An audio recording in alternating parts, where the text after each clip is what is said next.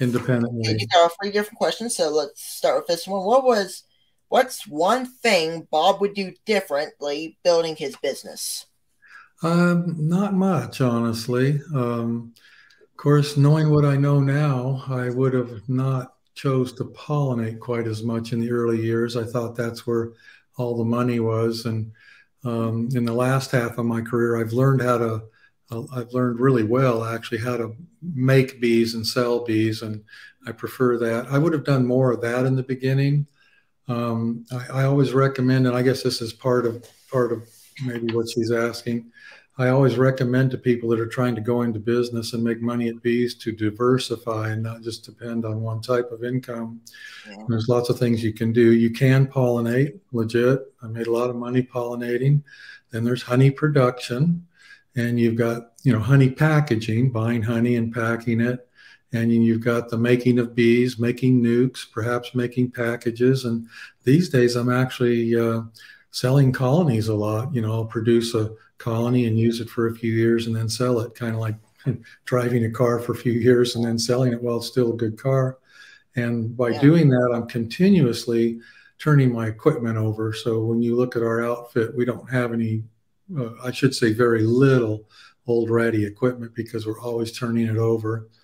Um, so uh, that's about all I do different. Not not much. I don't think I've really done anything wrong, honestly. Just uh, kind of learned how to make money a little better along the way. Yeah. So the next part of it, of uh, her question is, what's his best advice for someone who wants to make a profit in beekeeping? Well, I think I just said that actually, and that is to diversify. If you depend on just honey production and you have a year like you're experiencing this year and it's not all that great, it can be kind of hard to pay land payments and truck payments and things like that and that's where the diversification comes in. That's really kind of what got me into uh, to making bees. You know, so a couple decades back, uh, you know, had payments that had to be made, and you know, it's obvious that some years are better than others when you're producing honey. And I hit upon this idea of selling nukes, and even in a bad year, I might not have done well by you know uh, diversifying with selling bees, but at least I made it, survived the season, so to speak uh, you know, survive to live and fight another day.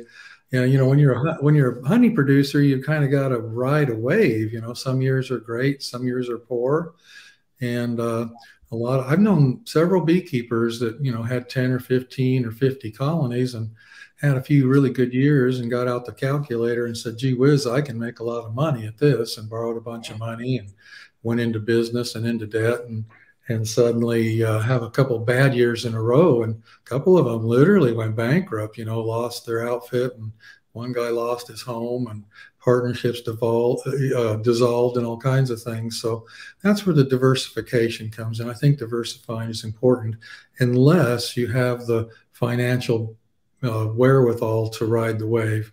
I think you have to look at honey production from a 10 year average, not just, you know, a couple of good years and a bad year. Just you need to look at what the average would be for 10 years or so before you start figuring out your finances with honey.